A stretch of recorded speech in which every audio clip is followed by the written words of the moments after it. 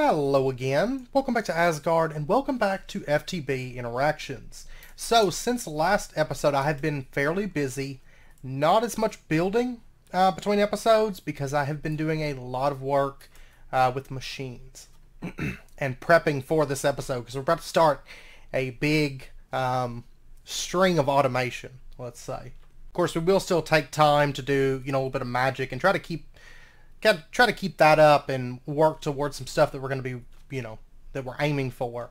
But um, I did spend a while prepping up some stuff. I also did a little bit of mining. I did get some silver and some lead. Uh, that was the main thing that I mined up. Um, over here, I added in uh, caches for sulfur. Uh, this is coal dust. That's lignite coal. That's thorium. Uh, this right here, this is stibnite and antimony, uh, which I got from processing stibnite ore um, processing that down. And then over here, I moved our blast furnace um, over and um, I've got this plugged up and basically it uh, there's an insert on the cyan line that is set to insert aluminum dust. So any aluminum dust that our system processes automatically gets sent here and then it extracts um, on the black line.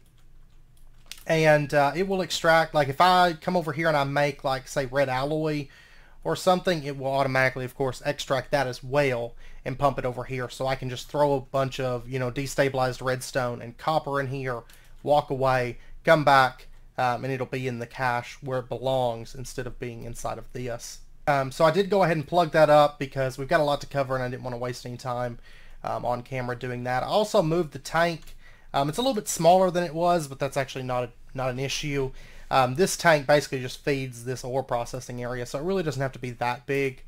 Um, even though actually this whole line of cables, I changed my mind on this, this is actually going to get pulled up um, in exchange for something that's a little bit cheaper on cables for us that we're going to be getting into this episode. So, um, but yeah, a lot of a lot of reorganizing and moving things around. Um, over here, right now the steam is ran underground um, with these advanced mechanical pipes. I made a bunch of these and I actually just made 16 more. Uh, but I'm actually going to be able to pull up most of those here in just a minute. So we'll have a lot of spares. Um, and then it's getting pumped over. These aren't plugged up at the moment, of course. Um, but it's getting pumped over to steam turbines. Right now, the only thing over here is our chemical reactor because we're going to be using this today. Well, maybe today. We'll see how far we get because we have a little bit of work to do before we actually start getting into automating things and that's because I want to work up to something before we start into that. Um, and then over here, there's a memory chest that's set up, and this is set up on a white line. And basically what I did is I went through and gave everything an extraction. All these caches can extract on the white channel. Um, you know, they're inserting on the cyan, and then over here, it's like the black line, I think. Yeah, black line. But everything can extract on the white channel uh, through the item ducts. Now, once we start AE2, you know, we'll have uh, buses attached to each of these. But these can extract on the white line, which will feed to various setups across the base, um, in addition to the AE stuff. But over here, I've got a memory chest that's set up, and right now I've just got redstone, rare earth, sulfur, cinnabar, stone dust, iron, aluminum, nickel, tin, copper, gold, steel, and bronze being fed into this. But I'm sure that I know for a fact that we're going to add things. I know we're going to add coal dust and stuff to this, um, which we'll get into later. But anyways, that we're gonna we're gonna be using here soon. So, and where I spend a lot of my time, and hopefully after the next couple episodes we won't have to spend so much time prepping this stuff up. But I have prepped up a lot of stuff down through here, a lot of stuff. Um, and we're going to start getting into that. I don't know if we'll use all of this today, but we're going to use a bit of this today. So first and foremost, what we are going to do is we are going to aim for um, the Pyrolyse oven. Now we're not going to be using this for automatic charcoal and all that right now, or creosote. Um, what we're going to be doing is we're going to be producing a liquid, and I'm actually not going to set it up right now for full automation. Later on we will set it up for full automation. But for now we're just going to be using it for a very certain a very specific byproduct that we can get from this. Now right in here I've actually got a few things prepped up. I got an LV input bus, an LV output bus, an LV output hatch, LV input hatch. That's for fluid and items, of course. And then we have an MV energy input hatch and then 12 ULV machine casings. Um, also, really, really quick, speaking of, um, this over here, um, this is for fluids, but I upgraded this to an MV energy input hatch, and I just have an advanced steam turbine right there uh, producing power and feeding it into the MV hatch. So now we don't have the four turbines, we just have the one single turbine that powers our blast furnace. Um, but okay, so we've got all that stuff. And then we also have uh, copper nickel wires right here. And let's go ahead and craft these together. We're going to get our copper nickel coil blocks, just like we did for the blast furnace. And then right over here, I have a Pyrolyse oven prepped up, which is copper nickel wires, um, electric pump, which is like that. It's just bronze, a lot of bronze, uh, rubber rings, and medium steel pipes uh, MV Machine Hull, good electronic circuits, and the electronic pistons, which actually we have, um, in this we've done everything now except for the 40 electric motors. So, um, which I'm not going to worry about crafting all of these up right now. That's because it's about to get a whole lot easier once we get all this stuff set up that we're about to be doing. So, um, but anyways, there is our Pyrolyse oven, and we get a quest complete, and this is actually very, very key. Uh, right here is the quest for the Pyrolyse oven. And you can see we get a program circuit, 16 steel plates, which actually now I've got 38 in there. Uh, program circuit, I'm just going to dump in there. And we get a shifting star. And this is actually important because right here I've got something laid out. We're going to use the shifting star to make a fluid transfer node. Um, so let's go ahead and grab that. And we're not going to be moving the tree farm today, probably next episode. I may actually just do that off camera and then we'll cover the nodes on camera because we're going to use nodes to transfer the blocks um, and get all this stuff cleaned up and then we'll get the grass changed over and stuff. So uh, this bottom floor is in a reorganizing stage, but this should be the last time because these machines are going to get moved over to there, or a vast majority of them are, and that'll be like the last time they get moved. Um, the blast furnace, that was the last time it'll get moved, probably. Um, at least that one. We're going to set up a bunch more of those. And then once this tree farm's moved for the third time, it'll be the permanent place. So anyways, what we're going to do is we're going to set up our Pyrolyse oven. Now, if we look right here, this is what the multi-block looks like is like that. And we've got our output hatches and output buses on the back side. Of course, I think we could put those in the front side, but I'm actually going to leave them, um, I think, on the back side. And what we're going to do is we're actually going to set this up right in here. And so we're going to do our ULV machine casings like right there and then right there. So this will be where the Pyrolyse oven sits. And then we'll have um, the energy hatch setting. We're actually going to set it up pretty much identical to how they have it in the picture. Um, that's because it's convenient. And we're going to have our fluid output there. We're going to have our um, fluid input here, which I'm actually not going to be using this today for what we're going to be doing, the fluid input, but we will use that later. So, um, the Pyrolyse oven, basically what it does is it can create charcoal at an extremely fast rate. And you can get byproduct liquids, not just creosote. There's some other liquids that you can make from it. Um, but creosote is one of them. It's basically just a super fast, um, you know, coke oven. Except I don't think you can make coal coke in it. Um, I think it's just for making charcoal, right? Yeah. You know, I don't think you're going to be able to make uh, coal coke from that. But um, I'm actually going to leave this system because I'm happy with it and it works very, very well. Um, the Pyrolyse oven is going to take a little bit of power input to run. That's not really an issue, but honestly, this little system over here is, is fine. You know, it's kicking away perfectly and it doesn't really take any kind of input. So, and last thing we have to do is just put our copper nickel blocks like this. And, oh, I should have checked to see. I think this is all in the same, yeah, it's all in the same chunk that's something you kind of want to make sure of. Um, personally, I've never had any issue with building multi-blocks across multiple chunks, but basically if there's a chunk loading issue, um, it can cause issues with your stuff. So, um, okay, so if we take a look here, Um, it says release oven. There we go. Max EU per tick is 256 M MV, and it is idling. So let's see the MV energy hatch. Yeah, it's 128, but it does two amperage. So that's what that's for. But we're actually only going to be feeding in one amperage at the moment. And I've actually got a couple advanced steam turbines right here. And uh, what we're going to do is I'm actually just going to plug this directly in to this. Okay, so the turbine goes right there.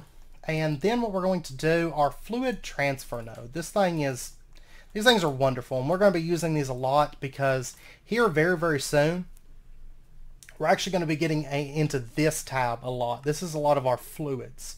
And we're going to be setting up dedicated tanks. We're actually going to be getting into a couple fluids today.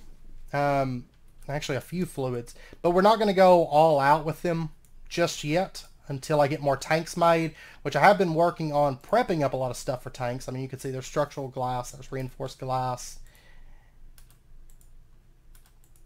And then actually in here, there's some dynamic tank stuff um, that I've been getting together.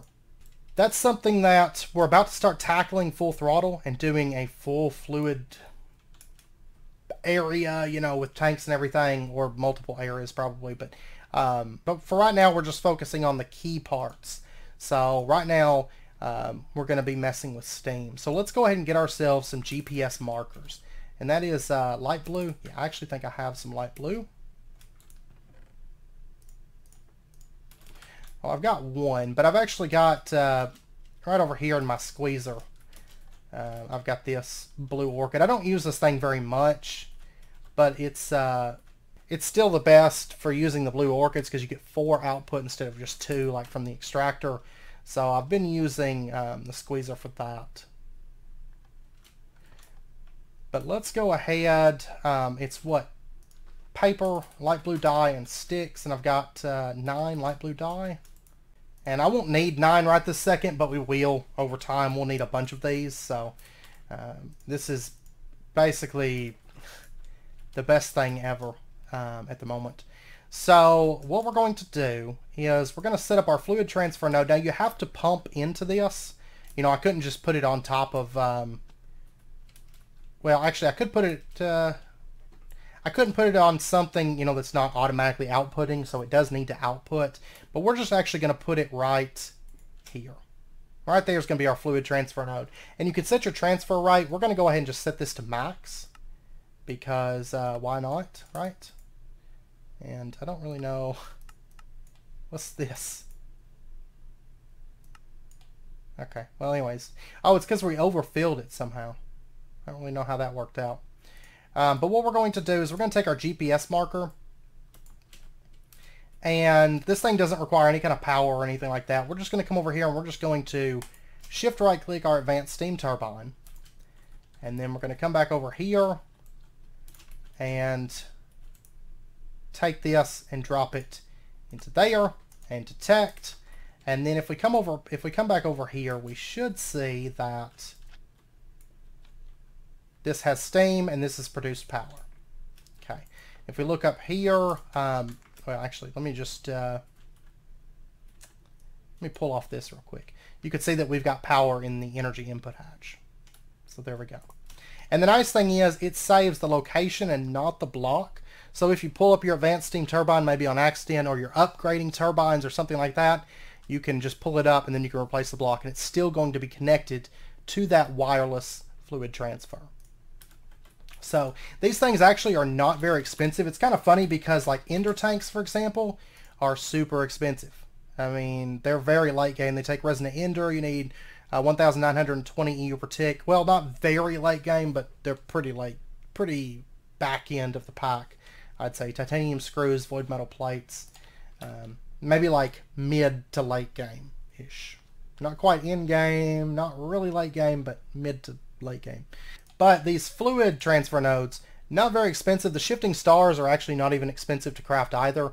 Um, we've done, you know, pretty much all that stuff. So we could easily craft all this stuff um, without too much issue. So, um, and then another thing I want to do is right over here, um, instead of having all of this line, because this is actually a lot of mechanical pipes that are ran through here. Like if we pop down through here, I mean it's a huge string that comes across and then it plugs in there. For right now I'm just gonna I'm just gonna disconnect all of these. So we'll just go ahead and break all of that. It's actually so long it didn't break all of them. Yeah, so now I've got 55 advanced mechanical pipes, which um, I did have to craft some of the enriched alloy, but honestly we're at the point where that's not all that bad to make. Graphite, of course, we've got destabilized redstone. Soldering alloy is just um, that antimony. That's why I was running that, and then tin uh, to make that. But um, I actually had some soldering alloy though from a quest, so I didn't actually have to make any of it, but I was preparing to make some of it and then didn't have to. So, um, okay, so then what we're going to do is we're going to take our GPS marker, and I'm not 100% sure if this will work. I think it will. We're going to try it. If it doesn't work, no harm, no foul, uh, but we'll see. So if we take this and we just shift right click there, because it should be able to see that pipe as an inventory and pump steam directly into the pipe, so let's go ahead and we'll just drop that into there, detect, and is it working? No, it's not working. Okay, that's fine. I'm guessing probably the reason this is so much cheaper than the Ender tank is because um, I guess it's a 1,000 millibucket per tick transfer rate, so maybe that's why. But it's a it's 1,000 millibuckets per per connection though. So, so we'll just connect it to there then. And I know this will work. So then we'll just drop that to there, detect, and then you can see this is already filled up with steam just in the time it took me to get over here. So then we'll say extract and there we go. Everything's plugged back up and it takes a whole lot less cableage than it did. So, um, which I don't mind making all those advanced mechanical pipes because I, I, was making them and then right after I made that last little batch of 16, I was like, wait a second, I don't need all these pipes because this thing is so much cheaper than I expected. So, all right, so we'll just plug that up and there we go. Those steam turbines are plugged up. Okay, so now that that's done, um, our Pyrolyse oven is ready to go. And if we take a look, actually I need to go get that program circuit that they gave us from the quest. And what we're going to do, like I said, I'm not going to automatically feed items in right now. We will later on. Um, but if we take a look at the Pyrolyse oven, what we can make is, you know, there's only six pages of recipes, but we can make creosote with this, 4,000 millibuckets for 16 wood, and you get 20 charcoal. Um, we can make, well, there's creosote with nitrogen, which if you use nitrogen, it costs a little bit more EU per tick, but it's less EU overall, and it's a lot, it's a bit faster. Um, but we're not interested in that. We can also make heavy oil and ashes. We can make wood vinegar uh, with charcoal. We can make um, wood gas, which is actually what we're going to be making. There's also wood tar, and there's charcoal byproducts, which this does, to make charcoal byproducts, you do have to have nitrogen for that. Um, and then we can also make charcoal dust with water, um, but that's with sugar. So, um, but what we're going to be making is just wood gas. And we're going to be going with this method right here. It takes 32 seconds to process it um, compared to 16 seconds with nitrogen input. And we need a configuration 5 program circuit. So let's go ahead and set this thing to 5. And we're going to put this into our input bus. And then we're going to grab ourselves a stack of mineral. And we're just going to throw that into there and it's going to start running. Okay, you can see it doesn't consume the circuit just like normal. Um, but it's going to start running and it's going to produce some charcoal and it's going to produce some wood gas. Now, of course, charcoal, I don't really have any use for that. But it doesn't hurt to have that charcoal. Um, it's just kind of, you know, something to have sitting around because I don't really pull charcoal out of the system and occasionally I'll use charcoal um, but it's not very common. You know, there's a few recipes that have come up where I need charcoal dust or whatever. Well, actually, now we've got coal coke, so I don't even know if we'll use it for that. I don't know. We'll see. But anyways, you can see we made 20 charcoal and we have uh, 1,500 wood gas. Okay. So now we're producing some wood gas. And we don't actually need a whole lot of this right now, but we do need a little bit of it. Now the next thing I want to do, if we look at wood gas, and we look at the uses for this, now there is the distillation tower, but that's 256 EU per tick. We're not going to get into that right this second.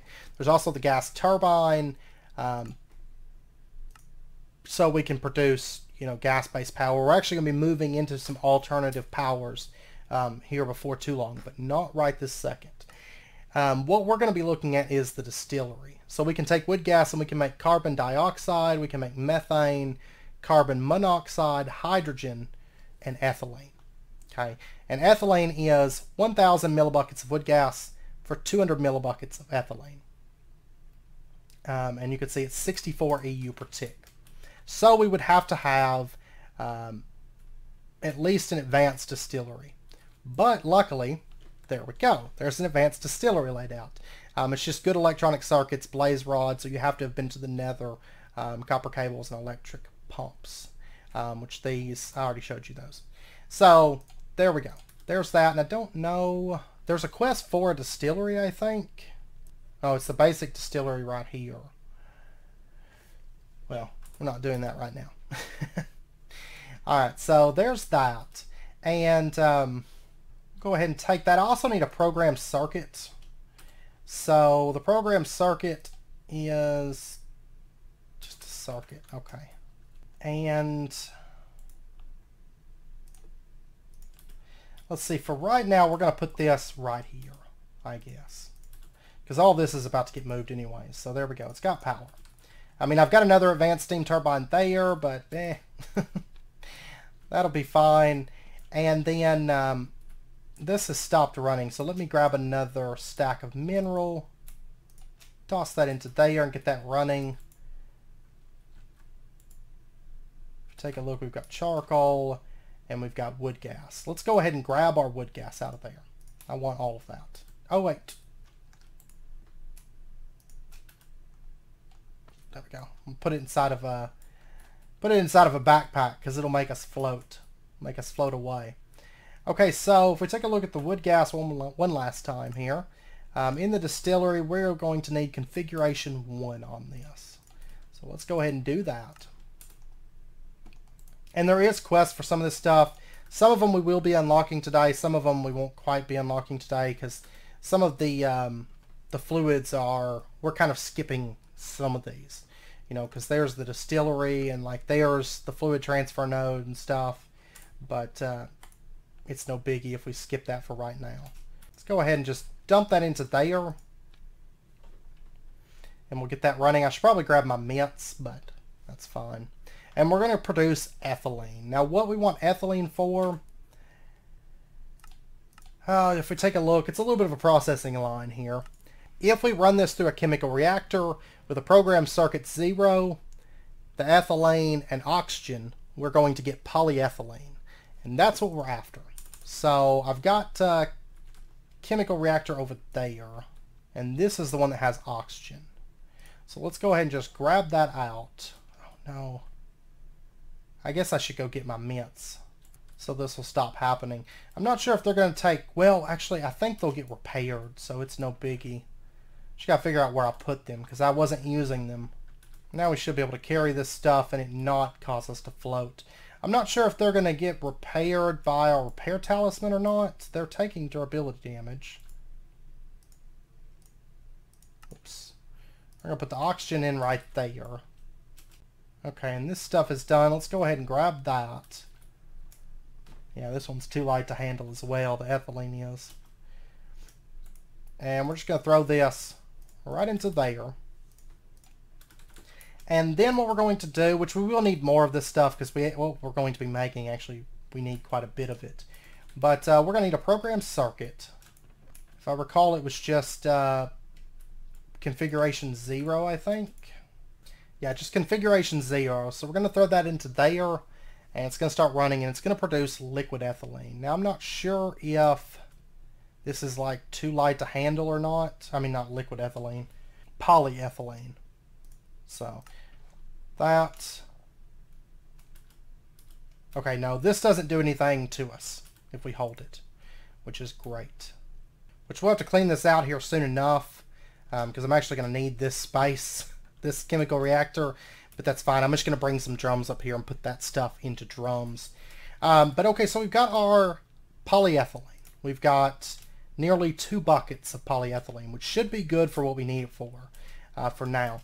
And what we're going to need it for, I'm going to need an advanced assembling machine, which, there we go. Uh, this thing requires MV robot arms, which is like that, which take the electric pistons and the electric motors. You can see where this stuff took a while to prep. Uh, then we need conveyor modules, which are pretty easy. So these are actually fairly cheap. Um, honestly, the robot arms are just, it's mainly the circuits that are a pain at the moment. So, which that's going to be fixed soon enough. That's what we're working up to. So there's our advanced assembling machine. Now right over here I've actually got five basic assembling, assembling machines laid out. So that's what that is. We're going to get into that soon. Um, assembling machine Age of Ultron. We get 16 wafers for that. Alright, so let's take our advanced assembling machine. And I guess for right now, I'm just going to move this thing. And we'll just set the distillery right over there for right now. We'll put, come back. We'll put that right there. Okay. And what we're going to, going to be making, let's go ahead and dump our liquid into there, our polyethylene. And this is where it's going to get fun. If we take a look at Super, we're going to be starting to get into Super Factory Manager, which is basically, if you ever play around with Steve's Factory Manager, which if you haven't, it's a wonderful mod and you, you need to play with it. Um, but basically Super Factory Manager is a port of that with names changed and all that. But it's it's the same exact, um, you know, it's the same exact thing at its core. So if we take a look at the Machine Inventory Manager, this is basically the controller for your setup. You can see that we need uh, 48 EU per tick. We need 288 millibuckets of poly polyethylene. We need an MV machine hull, a compressed crafting table, which is just nine crafting tables, and then we need an MV sensor, uh, which takes electrum, which is why I farmed up silver uh, between episodes. So we'll go ahead and throw this into the alloy smelter, get that running, making us some, uh, some electrum, which I will slot that into a cache whenever I make more caches. So there's that, and then we'll just throw this into the lathe, get that going. And then the rest of this, four aluminum plates, nether quartz, which I do need to process more aluminum um, here fairly soon because I'm starting to get, oops, I'm starting to get a little bit low on that. Which this chest isn't really meant to have things taken out of it, as you can tell. It's not going to be something that we do very often, so. Once this is all in place. Okay, so there's our sensor. Easy enough. And then, um, let's see, crafting tables. So we'll go ahead and run those through the compressor. And then I've got all the rest of the stuff. And there we go, compressed crafting table. Throw that into there, and that's going to start running. It's going to take a minute. You can see it takes 40 seconds to craft this thing. Now, in addition to the machine inventory manager, there's one other thing from this mod that we're going to need, and that's it. And this thing can do all of our stuff, and that's the inventory cables. And we're actually going to want um, a few of these, I'm probably going to go ahead and start with, uh, let's see, red alloy cables, gold plates. Ugh, I need to get the rubber automated, which we're going to be doing that. This is, I don't have any more rubber in there. I used all of it. Okay, cool. Because we're going to be automating rubber um, probably today if we get to it. Um, and we're going to be doing it a little bit differently than how we had been doing it. So we're not going to be using that raw rubber pulp anymore. So go ahead and throw this into there and get that running. You can see it doesn't matter if the oxygen and ethylene's in there, that's fine. Um, we can still make the rubber because that goes into output. Um, but there's our machine inventory manager. Let's go ahead and take that. Yay. I think I'm going to go ahead and go with four crafts of this. Um, which will give us a half stack of inventory cables. We will need more of these as time goes on. Um, but that's going to be a good starting point. So we're going to need a half stack of gold plates. Um, I'll be back here in a second once I get the red cables made up. Oh, but that's 1,152 polyethylene. Uh, per 8. And I've only got enough for one craft. So I'm going to have to make some more of that as well. Alright. So I'll be back here in just a little bit. Okay, our 32 inventory cables are done. We have 504 polyethylene in there, and then I've got a little bit more left over. I'll probably make some more inventory cables. Yeah, I've got almost enough. Actually, I think I've got enough for two crafts. So I'll make some more of these, but I want to go farm up aluminum because I've only got 10 to my name at the moment. And, uh, well, it's not really go out and farm. I basically just have to set it up so I can run sapphire dust through this, and that'll fix that. But um, So anyways, what we're going to do, we're not going to start setting up Super Factory Manager this episode, I don't think, because there's a couple of things that we need for this setup, and I don't want to have to stop in the middle, and I want to kind of dedicate an episode to Super Factory Manager. But we're going to go ahead and set this stuff up, uh, like the placement.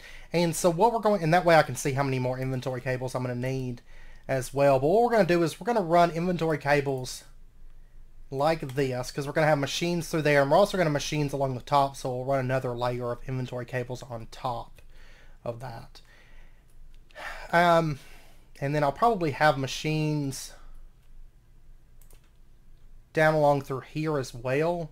So what I'll do is, I know I'll have machines right here, and that'll connect right there because this is all going to get covered. It's going to have covers in front of it. So you won't be able to see the inventory cables long term. Um, but what we need to do is we need to run inventory cables basically to where this memory chest is. And so we'll put inventory cable there. Yeah, we'll actually run this up underneath the floor like this. Uh, in fact. So let me pop back up out of here. There we go. And that's all connected and then actually right in here because I think what we're going to do is we're going to have this be yeah for right now we're going to have this be something uh, that we're going to be setting up here in a minute so we'll bring our inventory cable up to there and then what we're going to do is we're going to set up our machine inventory manager and we're going to have this setting like right here because I want it to be accessible um, so what we'll do is we'll have covers over this, but we'll have this still be accessible uh, somehow. So if you take a look here, this is this is Super Factory Manager. Uh, if you ever, like I said, if you ever use Steve's Factory Manager, it's identical. It looks the same. It's the same exact process, you know, uh, for setting this up. Now there's two different ways uh, with what we're going to be doing, which like I said, we're not going to be getting into the setup today. And that's because we won't have time to finish it in today's episode, and I don't want to stop in the middle of it. I'd rather just spend a whole episode dedicated to Super Factory Manager um, in the next episode. But there's a couple, there's actually another way that you can do what we're going to be doing, and that is thermal logistics. Thermal logistics, I did test it, works fine for what we're going to be doing. But the thing about doing thermal logistics is it actually ends up being a whole lot more expensive. Um, because it's, I guess thermal logistics is probably easier if you've never used Steve's Factory Managers thermal logistics is kind of easier to figure out because it's very, very straightforward and very self-explanatory.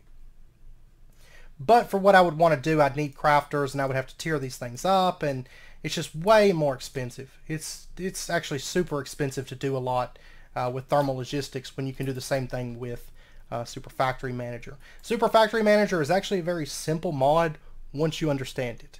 Learning it, if you, it, it's actually very overwhelming, I think, if you've never used it before. But hopefully um, in the next episode I can explain it in a way um, and show you guys and, and kind of do a lot of it on camera, just making up setups with it. So that if you have any questions, um, hopefully it'll answer it for you. And, you know, if you want ideas for setups that you can do with it, because it's really, you can do so much with it. Um, as long as you are willing to dedicate the time to doing a setup with it because it's actually it's actually very very powerful and very very simple uh, to use. Now a couple of the things that we're going to need for this. First up, I want to make it's it's high time that we make a modular storage because these things are very very powerful. Now for this we're going to need nether quartz plates, um, which okay we make that with the block of quartz, which I actually think I've got some steel chests Yeah, I've got one right here. I've actually got a couple right there, but I actually only need one modular storage at the moment. And give me just a second while I get this stuff together, and um, I'll be right back. This won't take very long. I've got to make some more red alloy cable. Or no, I don't. I've got some right there. But I think you guys are going to like what we're going to be setting up next episode. Um, but like I said, it, it's going to be the entire episode for the most part. Um, chances are. So, um, I mean, it will involve setting up some machines and doing some some automation work. And I will say that I'm going to get the between episodes, I'm going to get the tree farm moved out of the base to where it's actually going to go long term. And so we will briefly cover nodes next episode and how those work. Um, so if you have any questions about that, uh, we'll get that covered next episode as well. So, but that'll be the main focus. Um, and then we'll the episode after that we'll get into magic. I just don't want to stop because what we're going to be setting up is going to be such a huge, huge quality of life thing that's really game changing for this point. Because MV stuff, we're getting to where it's actually very like what I prepped up for this episode took what felt like forever. And it's time that we automate that. It's time that we get it automated. Because once we get all that stuff automated, we can pretty much just expand um, freely at just the cost of resources is all. It's not a, it's not going to be a huge time sink to make a lot of machines and make a lot of things and expand um, once we get that stuff set up. It's basically going to be like having AE2 auto crafting before AE2 auto crafting. So, all right, so there's our modular storage. Task completed. And then I'm assuming that that is over here. Yeah, and then they want us to make a tier 1 storage module. And we get a tier 1 storage module as a reward. Okay, well that's fine. So to make this, we're actually going to go ahead and shoot straight for tier 3 storage because getting just a tier 1, not so much worth it. Um, now I am going to need an iron to gold chest upgrade and then we're just going to need a basic circuit. Now for the tier 2 we're going to need enriched alloy and then for the tier 3 we need reinforced alloy which takes diamond dust. Um, and we're going to need run and we're going to have to run it through a advanced assembler right? Um, so what we're going to do I need to make a couple bits of enriched alloy. Okay so we use the tin and the antimony and that's going to make our soldering alloy and let me pop over here. Let me get some redstone as well. Throw that in the fluid extractor. And then um,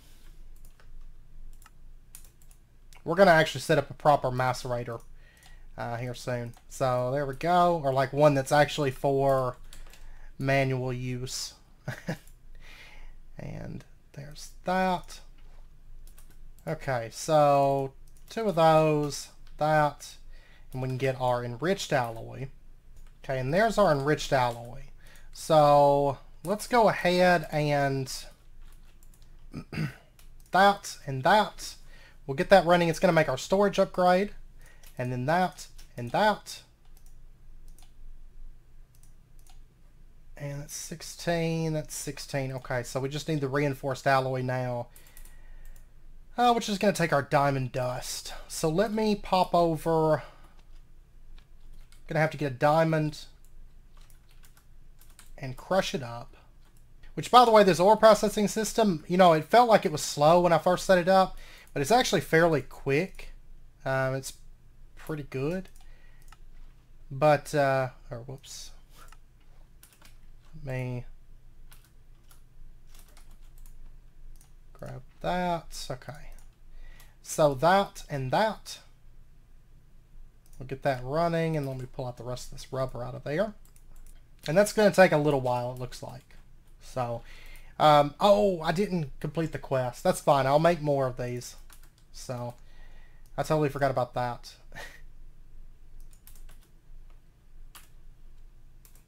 yeah, there's no way to break it back down. Whoops. But I'll be making, I'll actually probably, maybe even between episodes, I might make another one of these and that's so that I can store a lot of that miscellaneous stuff that we've got sitting around. Um, but for now, I just need one um, for what we're actually going to be working on uh, during the next episode. And actually, let's go ahead and take our modular storage. And what we're going to do is we're going to set this up right here. There we go. Storing the stuff advancement. And what we're going to do is our crafting stations. Let's start pulling these up because this little area is about to be gone because we're going to replace it with our modular storage area set up and we're going to have this set up so that it automatically keeps things crafted and stocked uh, for all of our crafting needs. So it's going to be wonderful, I promise. Once it's all set up, it's going to be great because we're going to have just like a crafting hub where we just, everything is really, really quick to craft. So anyways, we'll get that running and it's going to make our tier 3 storage module for us. And there we go. So we can store 300 different items in here. And you can see we can save recipes to this as well.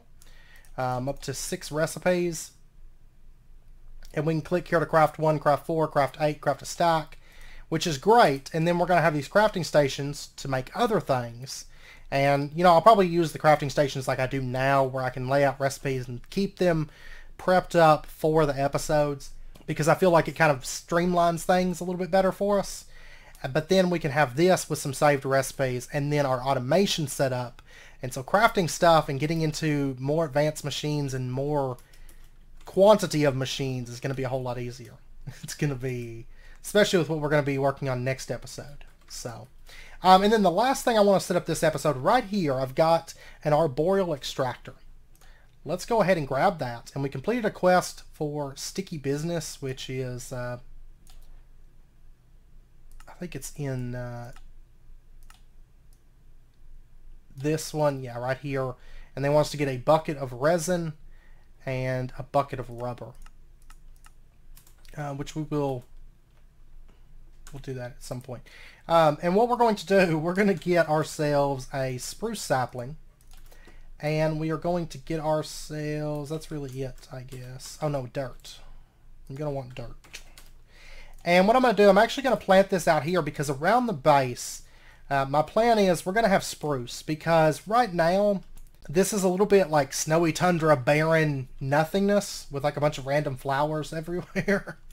Um, but I would like to have a spruce forest around um, the structure. I mean, not super dense, but you know, some spruce trees around here. And actually, one of these, we're going to have it setting, say, right in here would be good. So let's go, oops. Let's go ahead and pull up the snow there, put that down, and get ourselves a spruce sapling. And the reason, and another nice thing about going with spruces is actually the best output for what we want. Um, you can actually get two different liquids using the arboreal extractor. One is sap, one is resin. And what we want is resin. So all we got to do is just throw this thing down. It's going to start running. You can see it lights up. That means it's working. So you just have to have it at the base of a tree. Um, and it will work. And the more of them that you have around the base of the tree, it's going to lose efficiency. And we're actually just going to be going with one because we really don't need more than one, to be perfectly honest, especially if we stockpile this and we keep it chunk loaded, especially with it being on a server. Um, you can see it produced 100 millibuckets of resin. And resin, if we take a look here, uh, resin is used in the chemical reactor in place of the raw rubber pulp to make uh, rubber. And it's the same as having nine raw rubber pulp, but it's only 100 millibuckets of resin, which is gonna it's gonna make 100 millibuckets of resin every 25 seconds. Now, if you use like um, there's two other trees, and I can never remember which ones it is because I just tend to always go with spruce. There's two other trees that will produce resin, um, and I can't remember which of the vanilla trees it is, but it does it at half efficiency. So you only get 50 millibuckets per 25 seconds. Now, if I was to put down another arboreal extractor, I think it's like 50 seconds or something per operation. Um, so it increases the time. So if you want maximum efficiency, one arboreal extractor is ideal. So, and then what we're going to do is just pump this out, you know, like out the bottom, let's say, and then pump it into there. That's the nice thing about having all these extra advanced mechanical pipes, um, which actually I guess I've got a whole lot of conduit binder made up because I was making more item conduits. And realistically, I could just go with fluid conduits, which is glass and sand.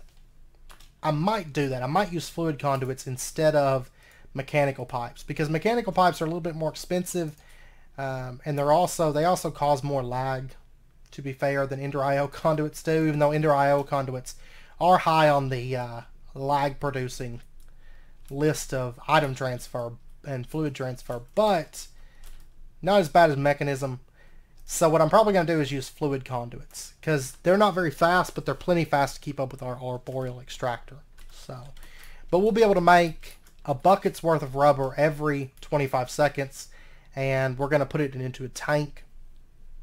We're going to have resin and rubber stockpiled in tanks. So I'm probably not going to worry about adding more arboreal extractors, to be honest. I mean, I know that we're going to use resin uh, for making amber as well, but I don't know if we're going to use that much of it, you know? So for now, we're just going to stick with one arboreal extractor. But anyways, I'll get those uh, I'll get those cables ran up um, with those conduits ran up between episodes because our arboreal extractor is right there and it's just going to basically come up um, and plug into a tank that's going to be setting over here and then the tank's going to plug over um, to the basic chemical reactor. So, or actually what I'll probably do between episodes is um, I might actually craft up two more of these for some stuff that we're going to do because they're so cheap. And I think I've got plenty of aquamarine illumination powder is just like that. I actually think we have a bunch of that made up. And then liquid starlight, which is cheap. Um, aquamarine, we have 55, so I think we're good on that. So, uh, yeah, I'll probably craft up a couple of those then. And we'll put those to use because those things are going to be nice. We're going to be making tons of those things as time goes on. So, so I'll, I'll get that stuff ran up and some tanks set up. In this room right here, we're actually going to have a lot of fluid storage in this area and a lot of fluid storage over in that area. And then, of course, we'll have our ore processing area. We'll have some uh, ore and gem storage, and we'll have an automation workshop room in here. And then we might have some manual use machines, like maybe on this wall, we'll see. Because um, this will be the main room where we do all of our work, right? So, and once this is all done, we really won't have to run over to these because we can come over here um, and have our memory chest available, which actually our memory chest will probably feed certain things into the modular storage, which we'll get into that. And that way we can pretty much come over here and craft most everything that we're actively crafting um, with just the click of a button. And it's not going to be a whole lot of a whole lot of running around like a madman to make things. And that's kind of the plan. The room where we have our storage set up now is actually just going to be item storage for, you know, stuff that we aren't actively using constantly, which will eventually plug into the AE system. And the same for that room, that room, and that room. These will be like storage area type rooms um, down through here. So we're steadily getting everything moved to where it needs to go. So, uh, but yeah, so I'm going to end out this episode here. I know it's not quite an hour long episode. I know you guys tend to like the hour long episodes, but next I don't want to start the Steve's Factory Manager stuff this episode and have to stop it. So, but I will say I've set all this stuff up in a test world and tested it, so um, and it all works very very nicely, and I'm very very happy with it. So we'll get into that next episode, and um, most of the episode will be looking at this screen. I'll go ahead and tell you. So be prepared.